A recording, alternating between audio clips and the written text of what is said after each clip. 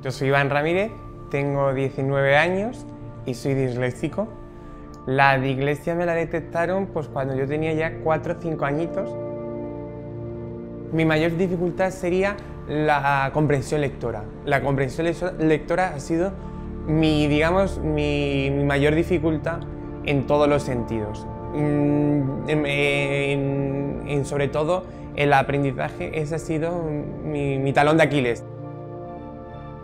Yo llegué a un momento en el que digo, ya, ya, ya fue en los últimos años de la ESO, cuarto de la ESO. Yo ya sentí como un momento de que, vamos, que me, me metieron en un grupo especial, que es de la, en la diversificación, porque me ayudó bastante. Y ahí sí fue que fue mi ayuda, pero ya fue al pasar bachillerato que yo ya sentí el desastre total. Fue imposible para mí y fue un fracaso. Yo me sentía que me tenía que superar. Yo, eh, a mí siempre me decían que yo, si mis compañeros iban a un escalón, yo tenía que ir a tres escalones.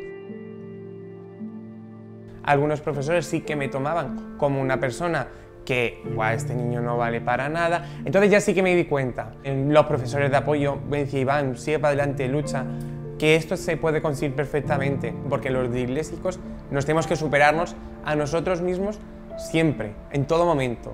Nosotros no es que vamos, no, es un, no es un retroceso, sino es que nos cuesta más y tenemos que mejorar ese, esa cuesta y tenemos que trabajar pues, el doble o el triple o lo que haga falta cada persona. Yo lo que desarrollé muy bien es la estudiar con imágenes, el, el hacerme dibujos para yo quedarme con las cosas. Eso me vino muy bien muchas veces eh, a la hora de estudiar. El hacerme dibujitos así de apoyo, cosas así, mi mente, digamos, la, parte, la parte visual se me quedaba, mm, la desarrollé bastante porque era mi, la que me ayudaba también. Entonces muchas veces lo captaba y ya sabía, además sabía el sitio, el lugar, la página y el renglón exactamente donde estaba ese, esa palabra o ese dibujo o mi dibujo que yo hacía para mí mismo. Y sí, yo, es verdad que yo desarrollé esa, la, visión sobre todo, la desarrollé bastante a la hora de estudiar. La motivación yo la encontraba en, en cómo, yo, cómo yo me sentía, eh, mis sentimientos, eh, mi felicidad.